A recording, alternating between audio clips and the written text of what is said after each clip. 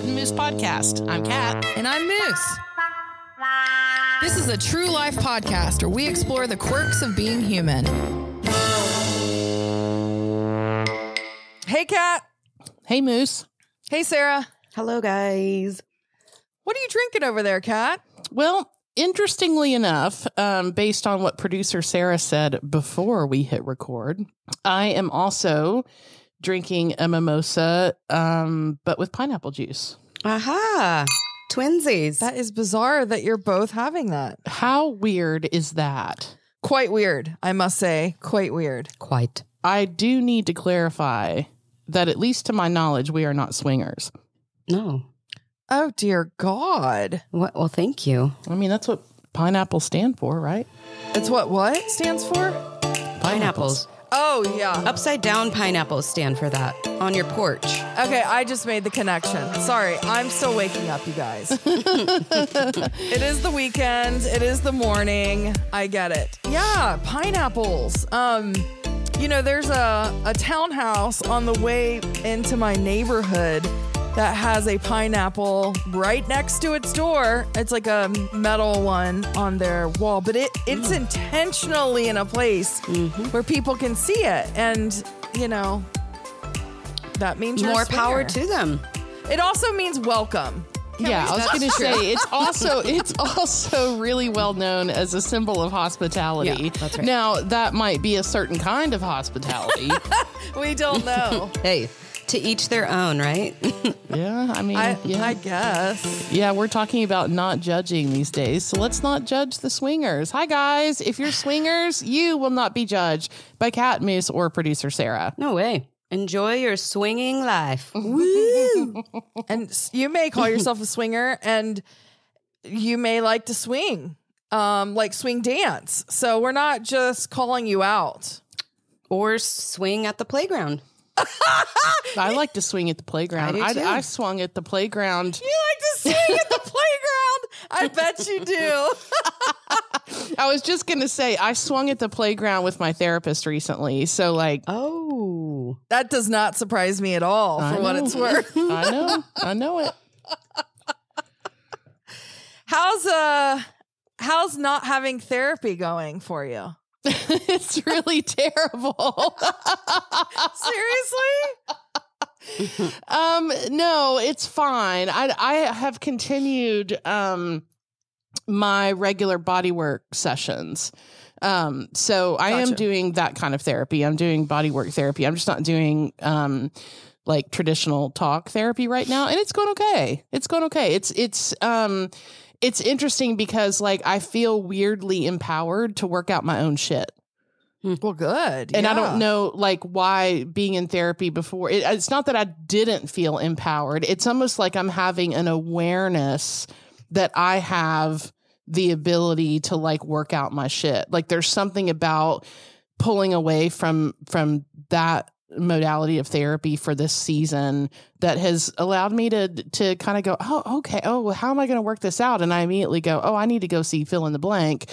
And it's like actually i know how to do that. Like i have the tools to do that thing. So Yep. um so it's been kind of neat. That's great. See, we're not just a therapy podcast, guys. We are a feel free to quit therapy when you're done. Also, feel free to quit things you've quit, also, if it's healthy for you.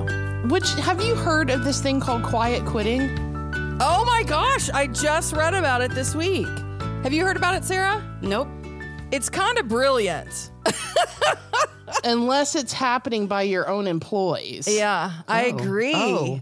So explain what it is, Kat. Please. Well, my understanding is is limited because my brain does not work this way. But my understanding is that it is when an individual in a job basically does as little as possible in order to not get fired and keep the job. Right. Yeah. Wow. And it's a very subtle, quiet, I'm going to do just enough to get by. And the kids these days are calling it quiet quitting. Don't blame it on the kids. I think Why? because here's the thing is I also in the same um article read that there's a thing called also called quiet firing. And listen, I could name a handful of companies that I have worked for that quietly fire people. Yeah. And what that means is you don't get what you ask for as far as, you know, either resources, education, or even salary. Um, and they just kind of like edge you out of meetings and you know what I mean? Like it's this it- it's all like passive aggressive ways to to manage, in my opinion. But the quiet quitting, I I do think there is a place for that. I would never say this like even 2 years ago probably. But if if somebody is not um being attended to and yet they haven't found what's next for themselves. And by attended to, I mean like they're not getting somebody feeding into them. They're not truly getting what it is that they were promised, at least in this job, Mm. hmm which Mhm. maybe is even a stretch to say promised. But I mean, it's funny because I'm taking this ethics class right now. And it's a lot of this conversation of like, is a job just a means to an end to make your dreams come true or whatever it is? You know, it's basically a salary. Or is, and or if you want, is it, um, you know, really about having personal values met as well? And I think that's an interesting conversation because there are some jobs where, you know, people actually enjoy what they do. Really? I've heard. I, Word on the street. You've seen some memes about it on TikTok. like, I'm not saying I don't like what I do, but uh, apparently I've heard that they people have made hobbies jobs, and I think that's fantastic. That's absolutely amazing. And you said passive aggressive a minute ago, and it made me think of of like what you just said. Like if an employee is not getting the resources they need, or they're not getting, you know, fed into in the way that they had been promised, or whatever, it's like that. It it is a very passive aggressive way to handle things. Like, what about going, Dear supervisor, I am feeling like I am not fulfilled in my job right now because of X, Y, and Z. Is there something that we could do together to figure that out? Like, how, why is that so hard? I don't know, but I mean, I, I definitely am aware of companies who actually have a policy and are, are, are quoted as saying, we don't fire people. And so, yeah, I don't know. It's actually bizarre to me that you wouldn't have, like, Hmm. I- I'm, I don't want to ever waste time is the way I see things. So like if if I'm not Yeah. a good fit for you as an employer, is part of the reason I work for myself. if I'm not a good fit for you, like I want to know about it. So either I can improve or I can go, this is not what I really want to be doing if that's what's expected of me, you know? Mhm. And so I don't know. I, I, uh, it's, it's an interesting, it's an interesting thing, the quiet quitting and the quiet firing. Yeah, I hadn't thought of quiet firing. I've only, I only, it, it's like my brain just like couldn't handle anymore. It's like quiet quitting. like I didn't think of like anything beyond that. Um, and I'm so glad that you brought up your ethics class because I have really been carrying around something really heavy since last week's podcast. Oh gosh. And you're just going to throw it out here. Lay it on us. I am. I'm going to drop it like it's hot. Like basically, um, you mentioned something last week, Moose, that is really like substantial and monumental. And we spent almost zero time on it. You told us last week that you are in grad school. Yeah. That's true. You did. What are you doing? I don't know. Fair enough. Fair enough. I honestly don't know because every like I have a big summary paper I have to write today and um yeah, it's hard for me to comprehend. Have I talked about having to use Speechify in order to like no. I haven't talked about that on the podcast? No, you haven't. What is Speechify?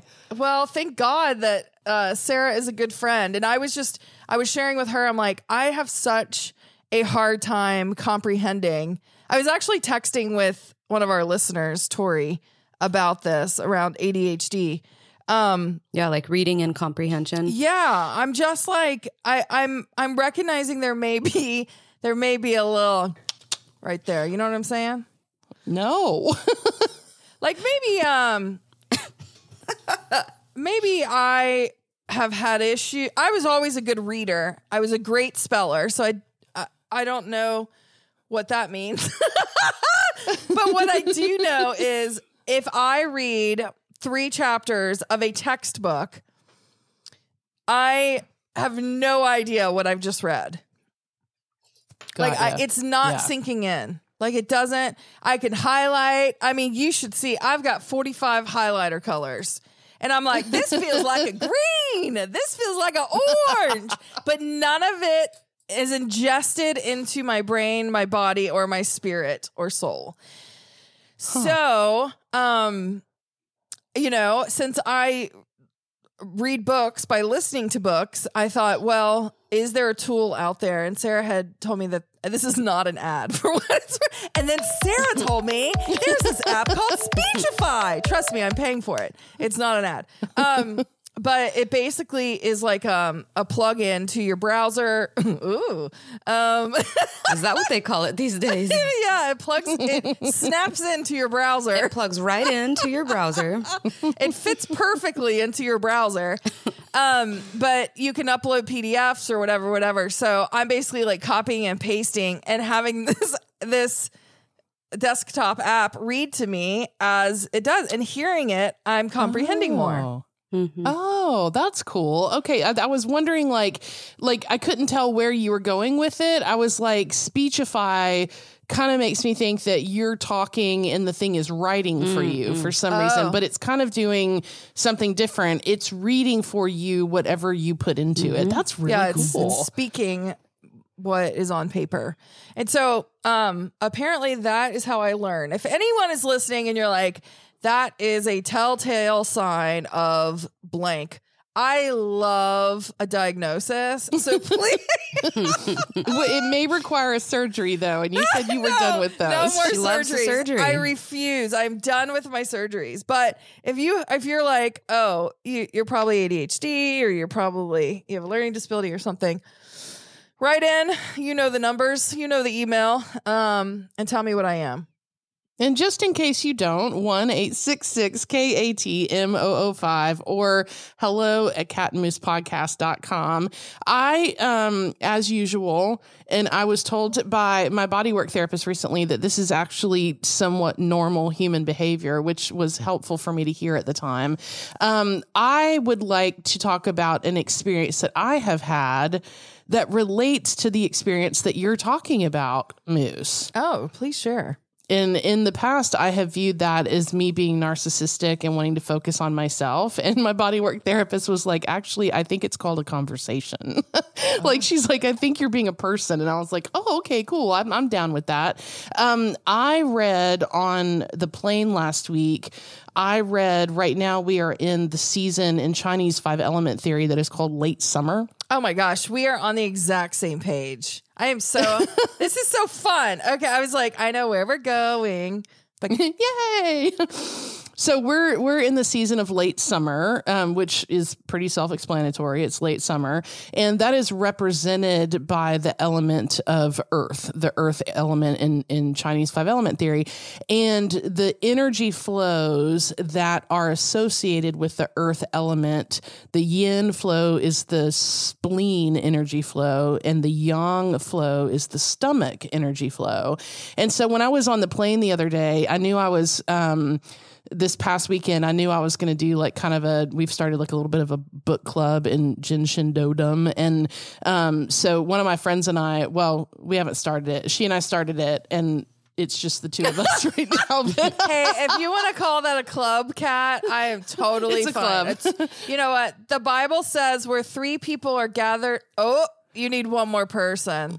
yep, we we need one more person to be. A, It's two or more. You're good. Oh, then you're good. You're a club. yeah. Look, guys, see, I can't be blamed for not knowing the Bible now that you know my comprehension issues. So I think it's where two or more gather together, you have a book club. So keep Great. going. Yes. and you're in the presence of God. That's amazing. We are a Bible verse podcast. We're a Bible comprehension podcast. Yes, yes. Anyway, when I was on the plane, um, I did a very short amount of reading on the spleen and the stomach energy flows and what they're about and where they are on the body and stuff like that. And then I went to my friend's house and I took these like flashcards, and each card was one point on each meridian. And so she got on her table and I held points along Wait, can we explain what a table is just so people don't see her like jumping up on a kitchen table? like on her dining room table. So she got up on her table. Okay, it's a massage table. Okay, great. yeah. So sorry, massage table. Um, we we are both licensed massage therapists. You have to be licensed to be able, yay, um, to touch people in the state of whoa, Tennessee. whoa, So Oh, That's a whole other thing. You got to get certified. that's a for. whole other that's a whole other licensure ethical podcast. Anyway, um, she got on her massage table and I sat by her table and we went point by point by point um, down the energy flow of the stomach meridian. And because I was holding points on her body and she was reading the card, and then we would talk about each point, I now know so much about those two energy flows.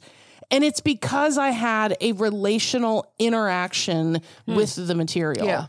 Like me reading what I read on the plane, like I was glad I read it and I retained a couple of things. Like it's not like I retained nothing.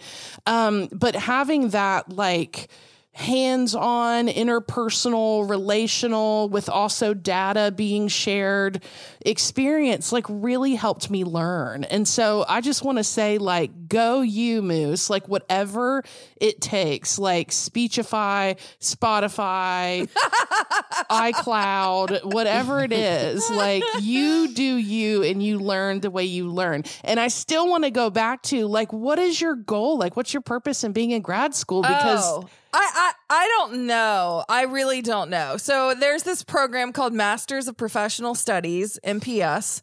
So like you have an LMT now after your name, which is super cool. My goal is to have as many letters as possible by the time I die. because I think smart is sexy. So especially uh, if I am having to struggle through the learning process, I think it's even more badass. So I will have an MPS after my name in a couple years. Um, I'm also going to have a coach. I'll have some coaching letters too. Mm-hmm. I actually, I got to tell you, this is this is me being vulnerable. Um, let me see if it's right here. Oh yeah, I love Okay. vulnerability. So I know you do because you are a sexual being. Um, we gotta- Whoa, guys. we got to talk about that later too. if we don't have context, it's weird. I know, I know, but weird is good. We are a weird podcast. So I had this notebook here sitting up on my um, bookshelves. Um, and Sara saw it one day, and it was like basically, you know, you write yourself like little encouraging things or whatever. It was basically like some goals I had, but they were sitting up so I could continue to see them. And she looked over and she was like, Oh, I am smart. I know my shit. I'm worthy. I'm desirable. I can trust myself. Kat, that's amazing. Well, my version of it is certifications that I want to. that is amazing. So, what do all those letters mean? I want to know every single damn one of those. Okay, so the first one is uh, MBI, which is the Martha Beck Institute, which is where I got my coaching training. So um, that's almost complete. And then next would be certification and the International Coaching Federation, ICF. Um, and then I want certification in IFS, which is Internal Family Systems. And then I'm completing my Enneagram certification. And then I have I want a master's in professional studies. Yeah.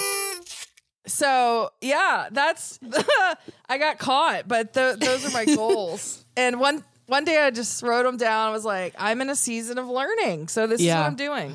Well, and I, um, uh, thanks to our friend Shimmy, I've been listening, and I just started listening to this book called The Four Agreements. yes, I have it on my shelf. And one of the things that is like the first agreement is to be impeccable with your word.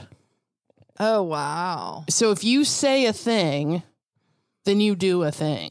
Yep, exactly. Yeah, it, it it's it's hmm. you know it, it's all. I mean, it's all the same. All the books of wisdom all say the same thing. Be a good person, you know. but like, Here's what that's saying. Even after COVID, if you schedule a lunch, you show up to that lunch, even if you don't want to. Be impeccable with your word or say no. or so that- yes, even better, even better. And so, um, so one of the examples that it gave, it was like if you if you say something, this is kind of like law of attraction stuff, like the secret. You know, it's like if you say something, then you manifest it into existence, and you are a living, breathing, beautiful example of that. Moose, that you have said these are the certifications I'm going to get. These are the letters that I'm going to have after my name. And can we celebrate that you are almost done with the Martha Beck thing? Like you are you are Yes. within just steps of the finish line. Yes. The International Coaching Federation, you're very close to being able to be certified there. Yep. And then the um Red Cross CPR. I don't remember what the the, third one. lifeguard. and then I want to be a flambologist. Yes, yes. Um, What's a flambolo? Flumbot. Flumbot. What's the person who gets your blood? Aren't they a flambologist? No. Phlebotomy. Uh, Phlebotomy? Phlebotomy. No. nope. Lobotomy. Lobotomy. No. Nope, that's not it. It starts with an F. Somebody in their car is screaming right now. it's probably our friend Chris. He hates when we can't find the word. Him and my mom. well, guess what? Now we can blame it on the little tick I have. Phlebotomist. Phlebotomist. I was right. You were right. Phlebotomist. I am freaking amazing. Yes, Did I say are. phlebotomist or did I say something else? A phlebobologist. Phlebobologist. I'll say it now. Phlebotomist. Fle. Fle. Bot. There's no M. Oh, uh, yeah, there is. Fle. Bottomist. Amazing. P H L E B O T O M Oh, it's a PH. I S T. Phlebotomy. Which is different. A, f- a phlebotomist is different than flambe, which Correct. we enjoyed a flambe last night together. That was nice. We did. I put that up on our Instagram story. We were celebrating your LMT. Yes, we were. And I was horrified at how much I have a basketball shaped head. Oh, God. And it makes me think of our flesh colored basketball episode from hundreds of episodes ago. Um, thank you for that lovely celebration. It was absolutely amazing. And for lunch today, I'm having my leftovers. Yes. Delicious. Oh my gosh, you got the A5 Japanese steak. I did, and it was so good. Okay, so back to your head. Um, I have been talking to my legs. Okay. I love that that isn't shocking to you, and it's exciting. It makes me so happy. Oh my gosh, what have your legs been saying to you? And what have you been saying to them? Well, okay, so um, I have been. I apparently say things out loud that I'm thinking because I am becoming a vulnerable human. And I was kind of processing this feeling about my body changing and, like, you know, trying to work out and trying to eat better and all the things. Like, I said to Sara at one point, Do you think that I am emotionally prepared to lose this weight? Hmm. And, you know, she just put it back on me, which is not what good friends do. And she was like, Do you think that you're emotionally prepared to do But I've really been thinking about this because, you know, I do think that our body holds on to things, um, trauma and weight and all kinds of stuff, right? And so, um, I really, that's a question I've been asking myself is like, not only like, am I prepared, but th- what came up after I was processing that a bit um, this morning was like the kindness I have to show to my body. Um, and I, what I did is I like found myself saying things like, I can't wait for my stomach to change. And um, I can't wait for my arms to be stronger. And so, anyway, I, I just had this um, realization from talking to Sara. Like, she didn't say this, but in so many words, like, I think I need to reconcile with my body. You know? And like, that's freaking weird. You know what I mean? Like, I need to be friends with my body. You know? Like, It's not that weird because if you're if you're against your body, then it's like right. there's just no movement. You guys are head to head, you know, and Well, and that's what is happening is like, I keep telling it, I can't wait for it to change. And it's like, okay, what if I honor it for what it has done for me? You know what I mm, mean? And like, mm-hmm. so I was doing this whole thing with my legs today where I was like, you have held me up even when I have gotten bigger than I mm-hmm. want to be. And mm-hmm. it's like, when did our bodies become like our enemy? Mm. Yeah. Like, honestly, do you guys have any knowledge? Because I need some. Like, at what point did we go, like, oh, you have failed me? Which I, I don't know if that's just me. Do you guys feel that way? mm, Oh, it's I'd- just me. No, I don't feel it. no, it no, it it's such a um it's a really really weighty both. Yes. Pun intended. my body is weighty. Yes it is. Very punny of you. it, thank you. Um it, it's emotionally really weighty for me and i think that that's why it took me a minute to respond.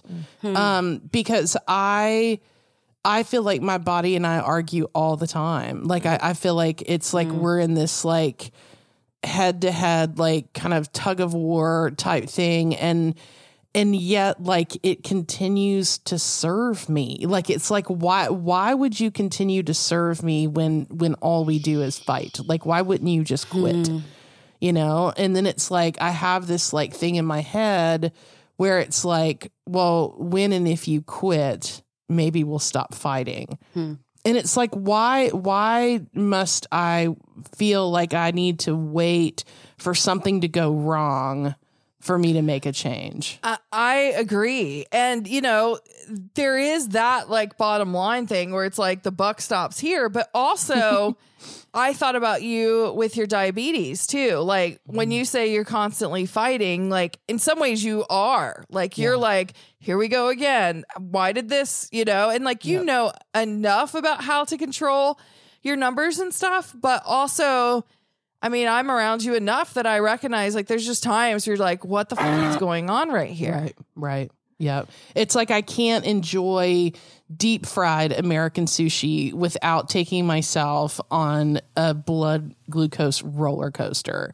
And so mm. some would say, well, how about not eating that? You might consider eating something different. And i'm like you might consider like this because it's like i like it's really good. And every now and then i want a deep fried thing that's got salmon mm-hmm. tuna cream cheese avocado rice seaweed and then baked and battered and fried in tempura. Like i want delicious. to be able to eat that you know? And it's like so yes i'd have uh, clearly a little bit of energy around this. Thank you for bringing that up moose. So what do we do? What do your legs say? What did they say back?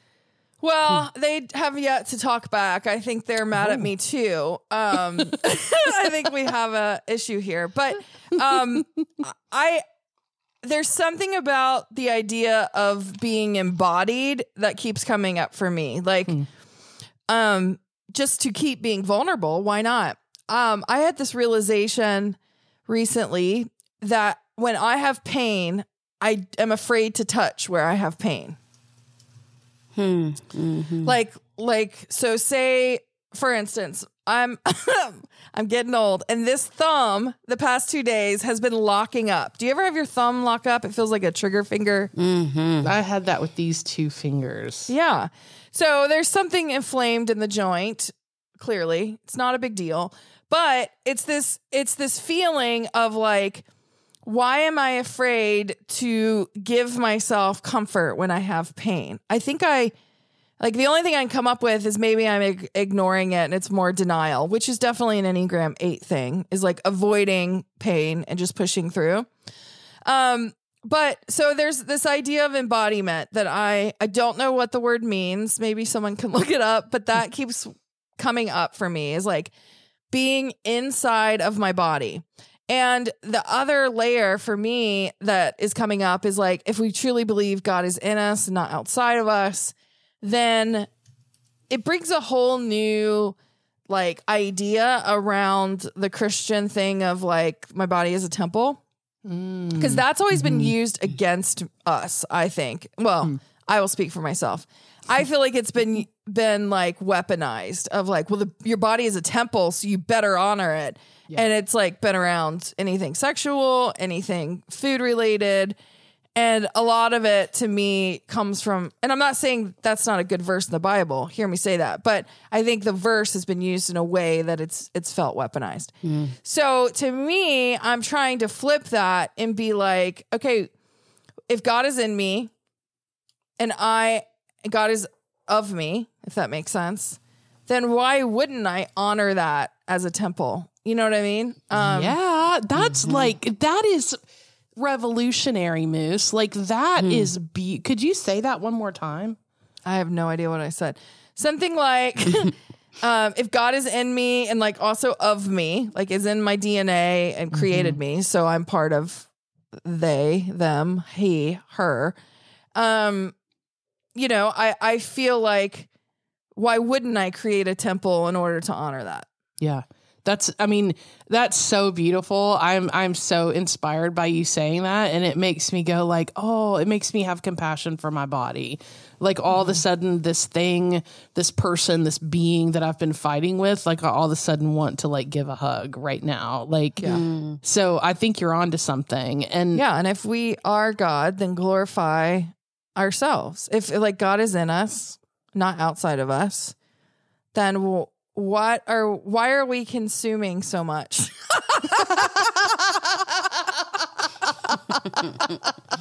I mean that. Like I actually wrote that down this week. Like why is it that we must consume things? Like I'm in this space where I have like a three-prong mission right now in my life to take care of my body, my money, and my mental health, okay? My body, my money, my mental health. And across all three of those, there are consumption issues. my body, my money, and my mental health. Moose, you are you are literally dropping some serious wisdom on the podcast today. Basically, I'm reading out of my diary. That's all it is.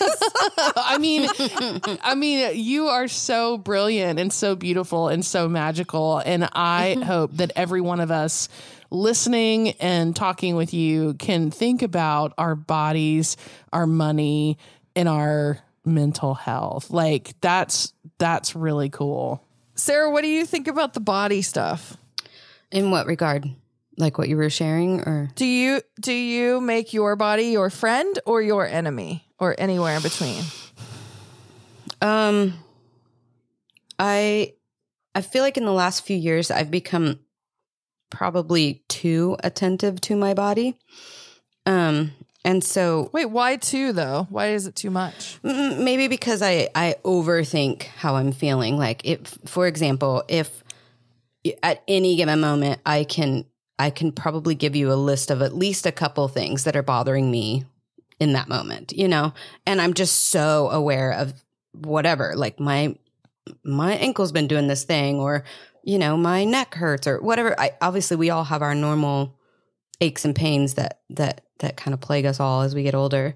Um, but sometimes I can get too into it and then I'll just like try to stretch to get this thing and then I've been stretching for 20 minutes and now I've overstretched and you know and um so that's a, that's a I don't know if it's a problem but it's like uh it can become like an obsession for me in a way um where I'm just trying to like roll out my back or like stretch my side enough to where everything feels aligned like I'm so consumed with my spine being aligned um I don't know why.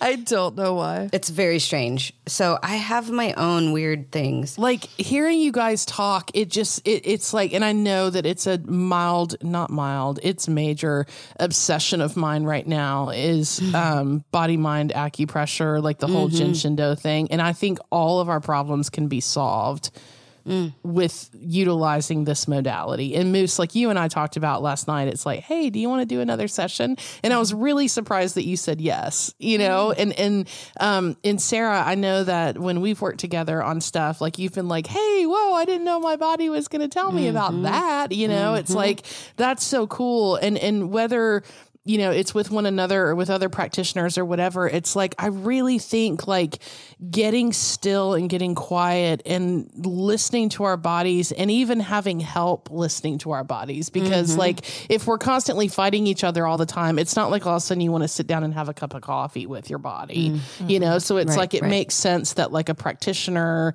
or another person kind of on the journey with you could help kind of guide you into listening to your bodies. Like um one of the things that that my bodywork therapist said to me this week. I was telling her how really really i'm dealing with some difficult stuff at work right now. And she was like you might consider that while things are really really difficult at work you might consider a little bit more self-care. Yeah. Whatever exactly. that looks like for you. So hearing all three of us talk about this right now, it makes me think like I wonder if if as we're going through this discovery process and maybe our friends listening might consider the same thing. It's like are you at war with your body? Like are you battling your body? Like and are you willing to be still? Whatever that looks like. That might look like taking a hot bath. It doesn't mean that you have to go to a therapeutic appointment.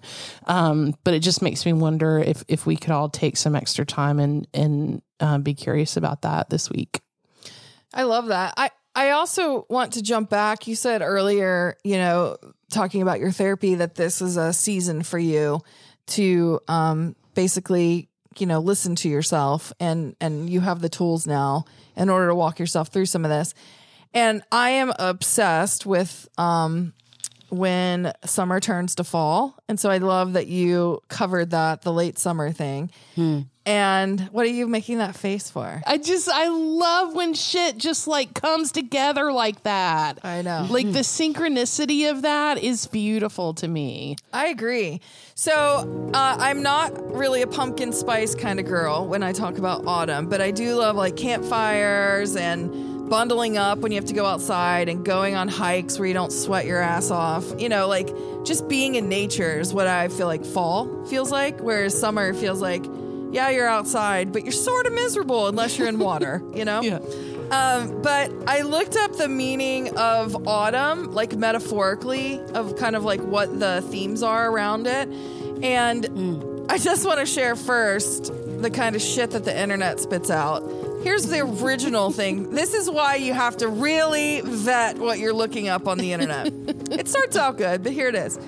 Autumn is the third season of the year, coming after summer and before winter. Thank you. And coinciding with the dropping of leaves from the trees as they go into a winter rest, which is why it's called fall. oh, it gets better. We also use autumn metaphorically to talk about the season of a person's life. And I was like, oh, cool. But then it says this like that luminous older actress in the autumn of her career. Wait, she's not yet playing a role in nursing homes, but neither is she scampering around in bikinis anymore. Wow. That is really a, that's quite a stretch for me. Well, yeah, because some dumbass wrote it. Okay, so anyway, here is what here's what fall means, guys. Here's the real goodness of it. So here are the themes for fall. And by the way, fall starts on Thursday, September 22nd. So mark your calendars. But this is what we have to look forward to. Fall means change. Uh, the only constant is change. It means mystery. Um, it says, thanks to changing nature of life, each and every day presents us with new mysteries. The crisp fall air and changing leaves personify these unknowns. It means preservation, which I love. And it talks about animals preparing for the winter and storing food and creating a cozy hibernation space, which I love going into winter. Uh, it means protection, which I love. It means balance and it means letting go, which I love. And so I just wanted to share this quote um, that I've always loved. It's by May Sarton out of Journal of a Solitude. And she says, I think of the trees and how simply they let go. Let fall the riches of the season. How without grief, it seems, they can let go and go deep into their roots for renewal and sleep. Imitate the trees. Learn to lose in order to recover. And remember that nothing stays the same for long, not even the pain. Sit it out, let it all pass. Man, that's beautiful. That reminds me of that um, uh, painting directly across from you in your office, Moose, that says "Allow it all." Yes. And I just I see it in my mind's eye all the time, and I hear it all the time. Allow it all. Allow it all.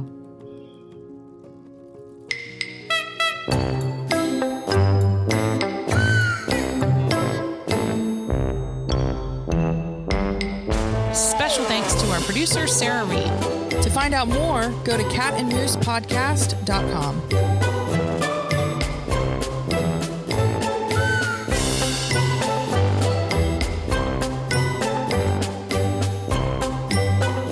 Moose is a BP production.